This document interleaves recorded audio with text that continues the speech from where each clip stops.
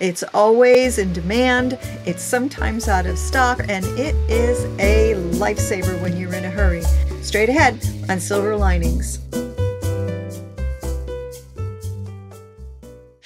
This is not a sponsored video. I bought this with my own funds, but I love it so much. I think the last price point I saw was under $70. It will save you so much time and it comes in tons of colors. It's a wonderful, a wonderful lifesaver and time saver. So today I absolutely had to do a very quick re-review of Toni Brattin's beautiful fall for fall 2021. Now, if you're new to wigs, this is how I got started. When my hair started to go very thin, oh, about three years ago, three and three and a half years ago, I started doing some research online, and I'm not really sure, I can't remember, but how I found this wig, or how I found this, I should say, alternative hair. Let me give you a look at the inside of the cap of this alternative hair, also known as a fall. Now, she, you, there's the inside of the cap. You can see that there's a comb up there. And it is open wefted, so it's very breathable on your head. And all of that hair is attached to the hairband with a felt tab. and I don't want to take it all off, but you can see, hopefully you can see there, let me give you another view here, how she is affixed with Velcro onto that headband so that you can absolutely take this hair off of the band very carefully. Take the hair off the band, make sure she's centered, and then give her a wash. I can count on one hand in three years how many times I've washed this alternative hair, and I've worn her and worn her and worn her. Now, full disclosure, this is a brand new piece that I've gotten within the last, I don't know, month or two. I've only worn her a handful of times, but this will really save you when you need to have look pretty decent and have your hair um, ready quickly. I've already reviewed this piece of hair, this alternative piece of hair, which is called a fall. I've reviewed her twice. This is the second one I've had in three years, and I wear it to literally to death.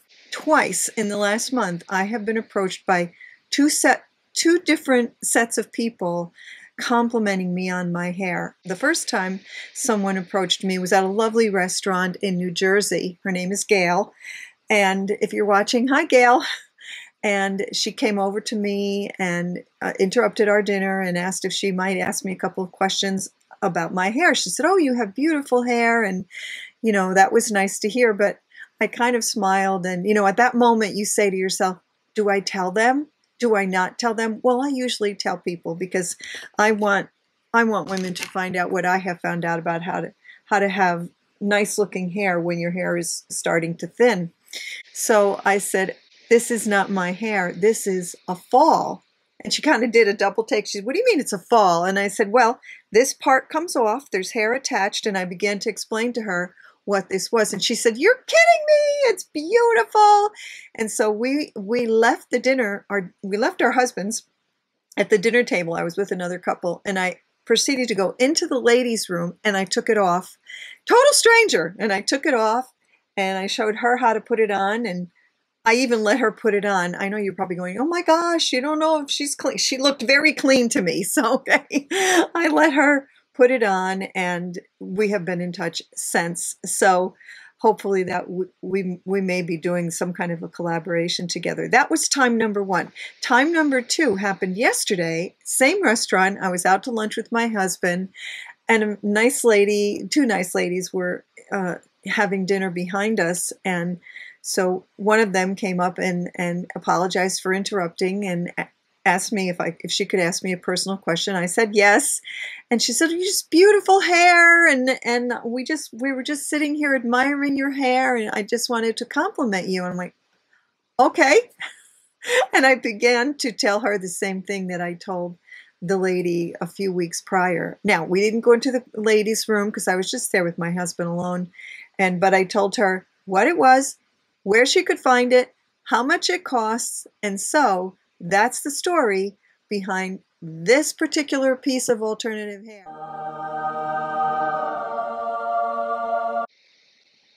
Now, the first thing I want to do is show you how easy it is to put on this hair. I've just got a couple of bobby pins in here. So you get up first thing in the morning, your hair's a wreck, or, you know, you just don't have time to do anything with it. So what I do is I comb it all out. Now, you can wear this one of two ways, and I think Toni shows this also on her video. You can just either pull your hair all the way back from your forehead, like so,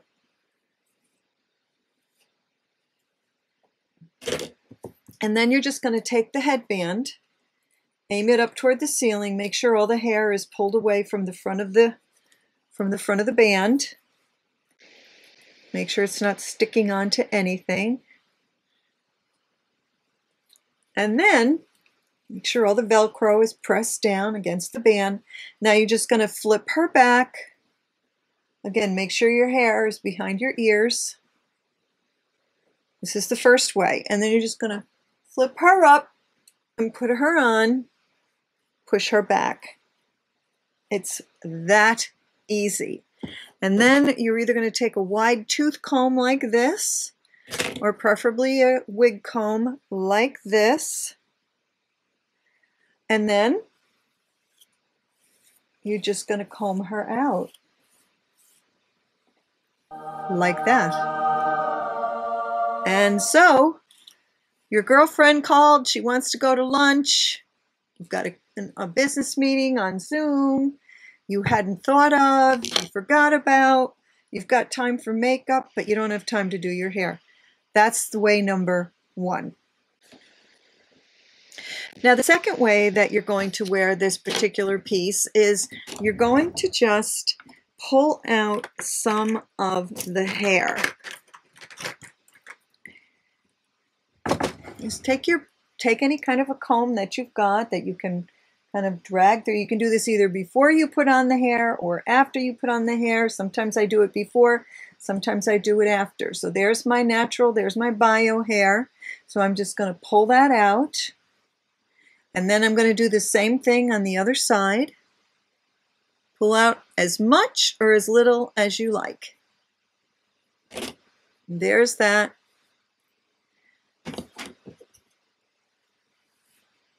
And so that makes her look even that much more believable. even without doing that, people still say, Oh, I love your hair. And then I tell them where they can buy it. The third way that you're going to do this is before you actually put the piece on, you're going to pull out some of however much you want to pull out. Now, I usually will take a pretty good chunk. Unless I'm in a really big hurry, then I'll just, you know, comb the whole thing back like I just showed you. But I'll take a pretty good hunk like that. And then I'll take a couple of clips just to keep it back until I get it on. So I've got the one side. And then I'll do it on the other side.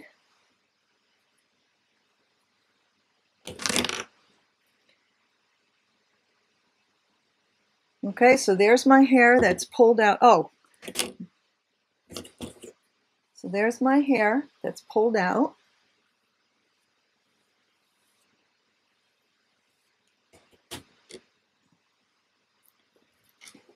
And then, once again, I'm going to put her on. Remember to pull out all the hair that's attached to the Velcro. Just pull that out, and then if, if it separates away from the band, just push it back on. flip it back, and put it where you want it. I usually wear it pretty close to the front. And then you're going to find those clips, take the clips out.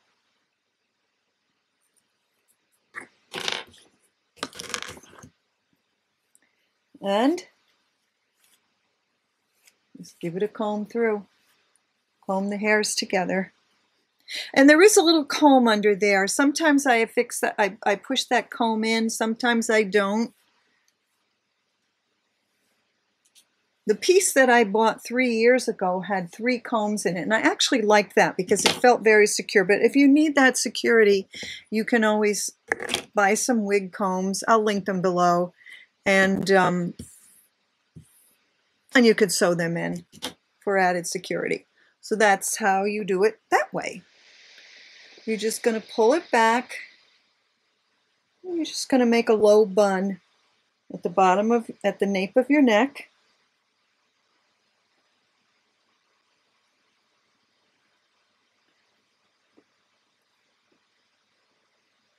And the trick here is just, again, make sure however, whatever you want pulled behind is pulled behind and then just smooth it down.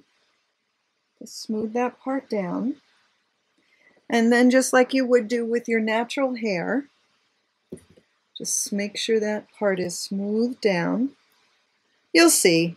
Sometimes if you don't do it right, there'll be a little a little bump because there's a little bit too, there's a lot of hair. Just catch it in your in your scrunchie.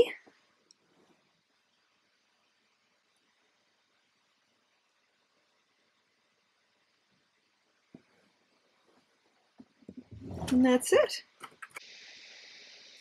And then the final way, let's say you don't have a lot of hair or you're, you know, you're really thin in through here, which I am but I still have enough that I can kind of create an optical illusion. So what I'll do is I'll take some True Hair Color and Lift. You can also see it here. True Hair Color and Lift. And I will just tap it now my hair is a little soiled here because I had some minor surgery a few days ago, so I haven't been washing my hair.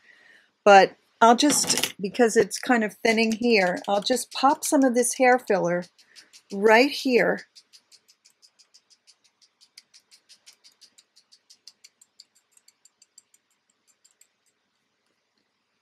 And this is this and this is the color white. And then I'll just comb that through however much you want. Now, if you don't have that, you can go to your local CVS or even Amazon, wherever, and you can use some of this Batiste dry shampoo.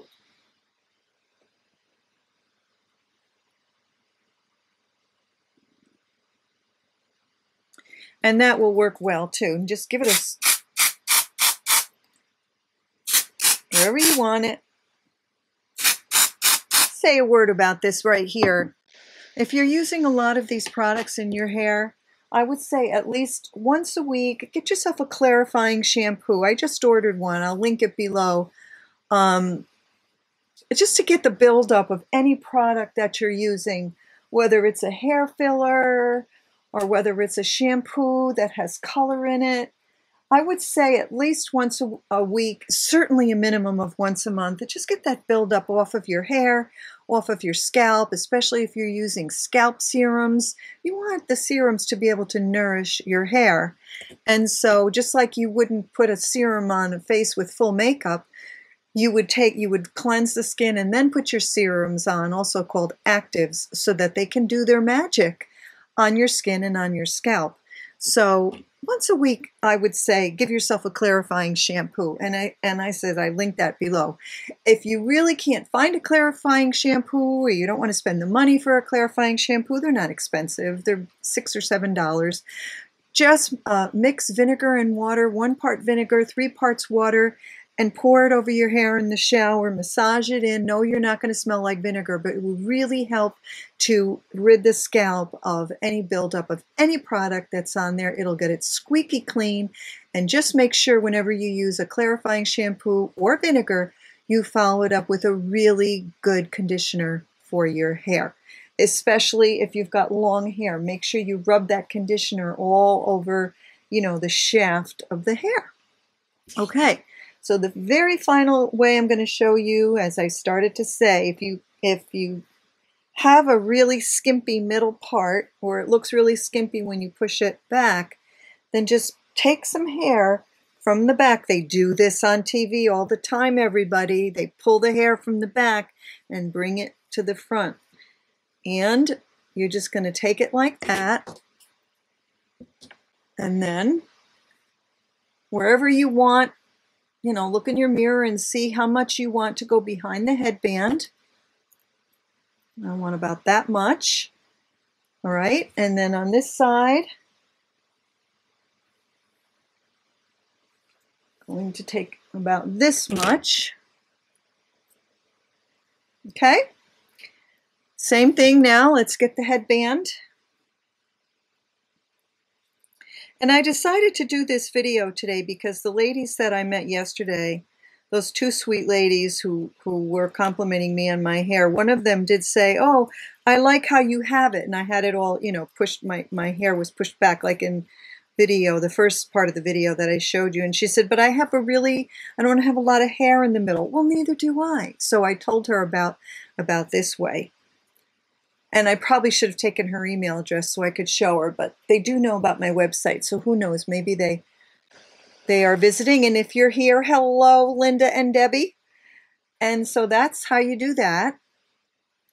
And now you're going to grab those clips, take those clips out, and then you're just going to comb it. Comb it forward.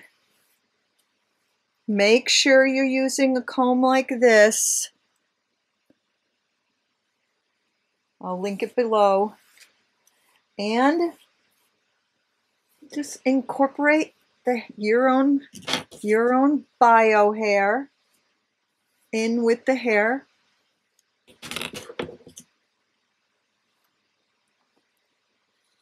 on the piece.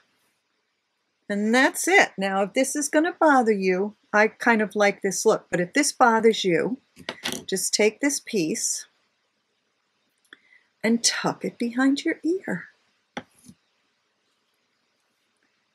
And you could see that I was all white, but there is enough white in this piece that it's very forgiving.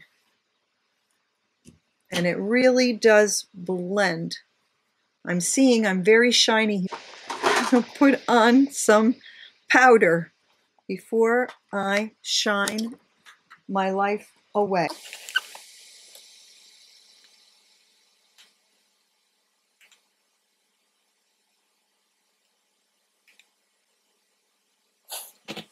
Okay.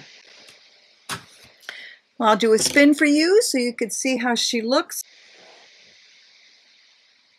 Remember I told you she's open wefted in the back, so she's she feels so cool on the head, everybody. I've even worn this in the middle of the summer. And it, it really is like the middle of the summer now because I'm in New York and we're having a uh, we're having an Indian summer, as many people are all over the country. I put a card up there for you if you'd like to see some other alternative ways to wear your hair if you're not really ready for a wig yet. I started with pieces like this and just some hair pieces, scrunchies and ponytails. That card is right up there for you. Thanks so much for watching. If you like, give it a like, hit the little bell icon so you don't miss any of my upcoming videos. Let me know in the comments below if you purchased this headband. I know many have based on these reviews and how you like it. Bye-bye.